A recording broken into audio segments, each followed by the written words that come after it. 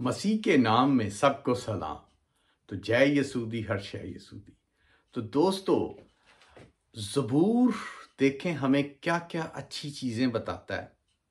अच्छी हर वो चीज़ ज़बूर बताता है और जो शरीर हैं, उनके बारे में भी बताता है। और जो खुदा की हमदो सना करते हैं, उनके बारे में भी बताता है कि वो खुदा के चुने हुए लोग हैं, खुदा चुनता है। और देखें जो आज का हमारा ज़बूर है, शुक्रगुजारी से, शुक्रगुजारी का जो ज़बूर सौ, जैसे हंड्रेड तो आइए उसकी तलावत करते हैं।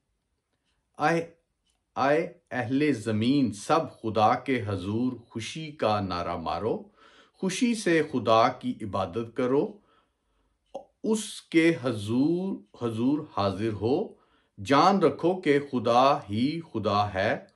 उसने हमको बनाया और हम उसकी आ, हम उसके हैं। हम उसके लोग और उसके चरागाह की भेड़े हैं। शुक्रगुजारी करते हुए उसके फा, उसके फाटकों में और हमद करते हुए उसके बारगा बारगा में दाखिल हों।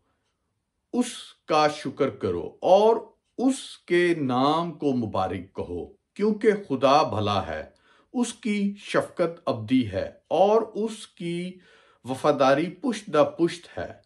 खुदा के पाक कलाम को पढ़े और सुने जाने पे बरकत हो। तो दोस्तों, उसकी वफादारी पुश्त द पुष्ट है।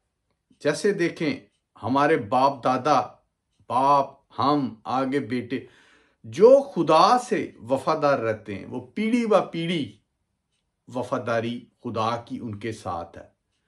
तो जो खुदा को कबूल नहीं करते, खुदा पे अमल नहीं रखते, खुदा पे यकीन नहीं रखते, वफादारी का एक जो पहलू है, उसको नहीं बढ़ाते, सिर्फ़ बातों में कि हम वफादार हैं। नहीं, आप बाइबल को पढ़ें, खुदा से तौबा करें, खुदा के साथ जुड़ें।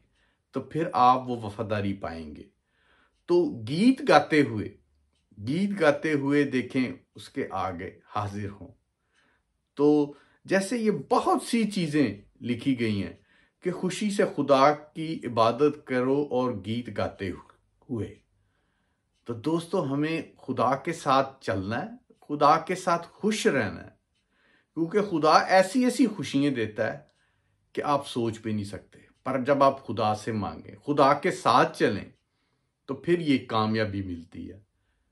जैसे बहुत सी चीज़ें हैं कि आप अपनी ख्वाहिशों से चाहते हैं हासिल करें, वैसे नहीं होता।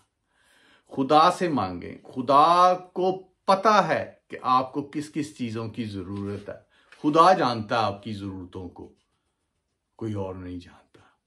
तो इसलिए दोस्तों, आप खुदा के साथ जुड़ें और जैसे लिखा गया है, आए अहले ज़मीन, सब खुदा के हजूर, खुशी से नारा मारो, खुशी से खुदा की इबादत करो और गीत गाते हुए उसके हजूर में हाजिर हो। तो दोस्तों, आप खुशी से ना कबूल करें खुदा को, खुदा के पीछे हो लें खुशी से। क्योंकि आपको जब आप खुदा को कबूल करेंगे, फिर आपकी राहें खुलेंगी। तो जब आपकी राहें खुलेंगी को खुलती जाएँगी।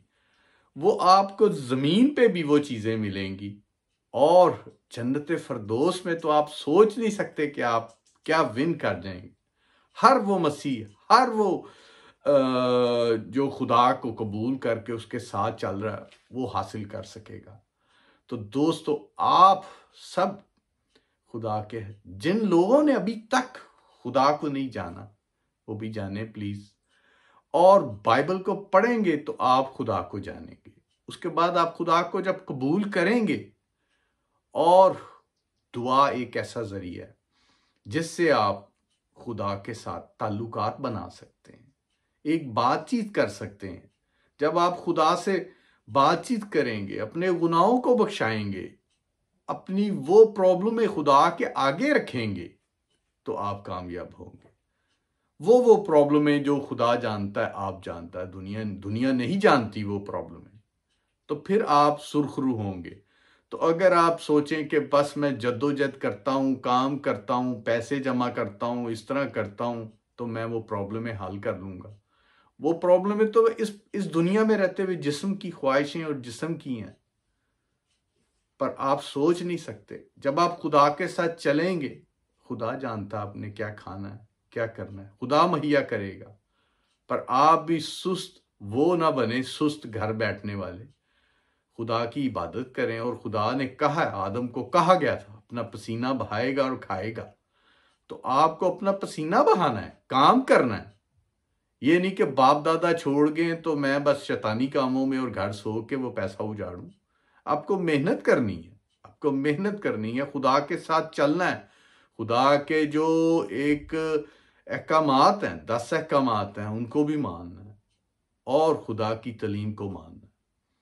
और जो गुमराह लोग हैं, बहुत से दुनिया में इस टाइम गुमराह लोग हैं। वो कहते हैं कि मैं ही ठीक हूँ, दूसरे सब गलत हैं। पर जब आप बाइबल को पढ़ते हैं, बाइबल को देखते हैं, बाइबल आपको सब कुछ बताती है, वो आपका एक ऐसा आईना है जिसमें आपकी शक्ल नज़र आती है। बाइबल को आप पढ़ें वो आपको बताती है कि आप किस स्टेज पे हैं, क्या ट्रैक पे हैं। जैसे जैसे आप बाइबल में बढ़ते जाते हैं, शैतान भी आपके साथ ज़ोर मार के आपको रोकता है। आपके स्टेजेस आपके लेवल जो बाइबल में बढ़ते बढ़ते बढ़ते ऊपर जाते हैं तो शैतान भी उसी तरह रोकता है, उसी तरह प्रॉब्लम लाता है। पर वो आदमी जो सुरखरू होता है, जो उसी में निकलता है। जैसे अयूब की ज़िंदगी को देखें, मैंने वो पीछे दो तीन एडिशन बनाए अयूब की ज़िंदगी को। उसने देखें, खुदा का दामन नहीं छोड़ा। वो खुदा के पीछे हो गया। इतनी हलाकत आई कि इतना अमीर आदमी था। कहा वो ज़मीन पे बैठ के सब कुछ मर गए, छोड़ गए, पैसा सब कुछ चला गया। पर वो देखें, वो सुरखरू हुआ, क्योंकि उसने खुदा की मानी। वो खुदा के पीछे हो लिया। वो खुदा का था। तो दोस्तों, आप भी, जिन दोस्तों ने अभी तक खुदा के बारे में डीपली नहीं जाना वो भी जाने, बाइबल को पढ़ें, दुआ करें और अपने गुनाह बख्शाएँ। ये ज़िंदगी दो पल की है। ये ख़त्म होने के बाद जो खुदा के साथ जुड़ेंगे, वो सब कुछ पाएँगे। जो खुदा के साथ नहीं जुड़ेंगे, वो हलाकत पाएँगे। तो दोस्तों, जिन्होंने नहीं जाना, नहीं कबूल किया, वो भी करें। तो प्रेज द लॉर्ड, जय मसीदी हर शय मसीदी